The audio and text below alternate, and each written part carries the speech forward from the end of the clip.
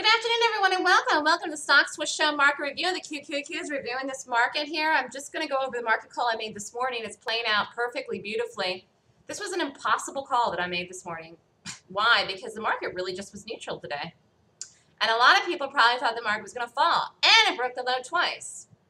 But I called the market to hold, and I said the market would hold. I said the market would hold.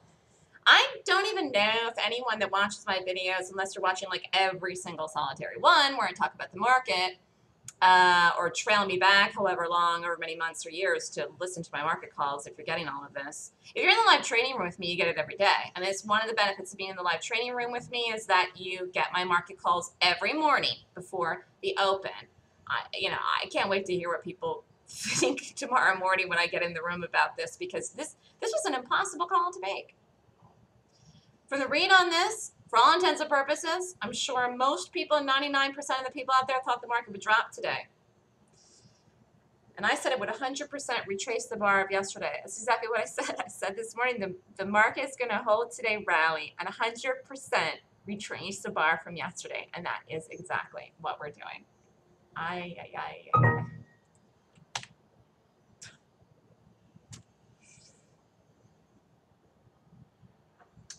So why was this an impossible call to make? Well, let's look at the let's look at the intraday chart first. How am I able to see these things before they happen? I mean, I'm able to predict stuff before it happens. So often it's not even funny, and it's because I know how to read gaps. It's it's it's all due to my gap analysis. It's you know, which I created so I can take credit for the fact I'm doing it, but it's really just me reading the gaps. It's just that most people don't know how to read gaps, right? So anyways, the market open, held, dropped, broke the low, rallied, rallied up, rallied up, and this could have been the low of the morning in here. Aggressive to go long it. Many people shorted it, okay? Shorted it in here. The market dropped, broke the low. Broke the low actually before 10 o'clock that normally, okay, you would look at that and you would say, hmm, you know, that's that's a good short. It's weak. People then went more into the shorts in here. How do I know? Market broke the low again. Market broke the low again, came in and held around 11 o'clock reversal time. That was the low of the day. This was the low of the day here. Guess what? $96. $96 a whole number, and market has rallied ever since. So you know, the market broke the low twice this morning and and still held. And it's, it's past the target. Actually, target was 98 today for the market. I said it in the room this morning, target for the market is 98. It's a 98.15. It's 2.30 in the afternoon. This could go all the way up to 98.20. Here, it's going to it's gonna go to 98.20, 98.25. Uh, the market's going to close strong. Market's going to close strong, and I don't know where we're going to gap tomorrow morning, but I have a feeling we're going to gap up. So here's everything I said in the morning. If all the people that were there in the morning with me listening, what did I say? I said I'm reading this gap. It's a neutral gap. It's neutral slash bullish. And we're going to hold. I said, don't think we're going to come in. We're not going to come in. This is strong. I read the gap today as strong, and that was an impossible call. Why? Because we were just sitting there like a boop, and I said we're going to hold. And then I also said we're going to 100% retrace the bar from yesterday. We did that too. So we're going to go to 98. We did that too. And I said, don't be surprised if we make a new high sooner than you think. And I said, don't be surprised. Why? Because people are shorting this market. Buying's going to come in. People that are short are going to get stopped out. We could retrace the move that we had down in here in the last week or a couple of days. We could retrace it, I said, in one day or two days. It's exactly what I said. We could, so we could retrace it in a gap. We could retrace it in one day in a gap, or we could retrace it in two days. And we've already actually retraced, you know, once we get up to here, half of it.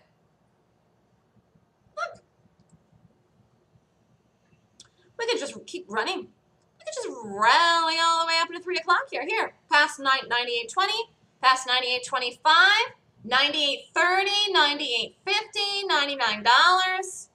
We can just keep running, running, running, running, running. Market will close strong today. Like this or more, okay? And people are still in the short. So this is actually just the nice buying, buying, buying. This is all the buying coming in the market. Shorts aren't out of this yet, and no one should have shorted this market because it is nothing to short. There was nothing bearish about any of this. Yesterday was a bearish day, which I called accurately too. You could have you know, shorted the market uh, uh, yesterday, but I didn't do that and I don't do that, but you could have. But today was not a day for that. There was not going to happen. And, uh,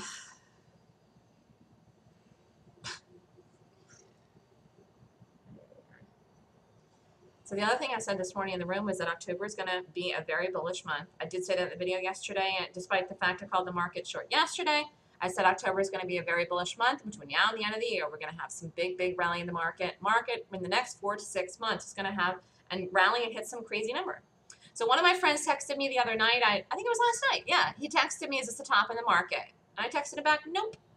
He's a friend of mine that's been trading longer than me in the market, a stockbroker. He's done it all longer than me, and he's asking me my opinion. That's actually very complimentary. I have friends of mine now that are around and people in New York that are asking me what I think of things that have been around way longer than me. I know how to read gaps, and I am feel so grateful and lucky that I do because that is how I'm able to accurately read what's going to happen in stocks and the market and predict things ahead of time. I read it in the morning, I read it in the pre-market, and just make the call and do it. You can take the application of the system I have for the 26 point rating system and you could rate AT ETFs. You know, that's, I mean, I don't rate the market every day. I'm reading it. I'm reading it because I have a good eye now because I, you know, I know all the stuff I know, but you could actually rate the QQQs the SPY every morning too, big gaps. So you could play ETFs based on the rating system to get the direction right. It's another application of something to do that you know, again, it's, it's, it's not the reason I created it. I created it to trade stocks in the right direction to read the gap, but you could use my system to read the market ETFs or any ETF actually. And uh, that's the reason I've been calling this market very well, very accurately. Boy, this was this was an impossible call today though because I know that people thought we were going to break, and we even even for the first hour and a half of the day, even for the first hour and a half of the day, it looked like that. So we'll see what everybody says tomorrow morning in the room. Uh, you know, I hope no one shorted this market. It was a no-go today. And uh, the market is higher. Market could make a new high before the end of the week. Today's only Wednesday. You got Thursday and Friday left. Do I know that's going to happen for certain? No. I, I don't know until I get up in the morning and read the gap. But we're probably going to gap up tomorrow morning. I mean, you know, unless something happens or some data's out tomorrow morning before the open, which I didn't really look to see. that could change that, but we're going to close strong. 98.50 is the next number. Wouldn't put it past the market to hit that in here and close like that today. Really going to have a strong close no matter what happens here today. So nice call I made in the market this morning. Everyone in the live trading room heard me make it. And uh, it's just one of these things where this was just... I'm even a little speechless here myself.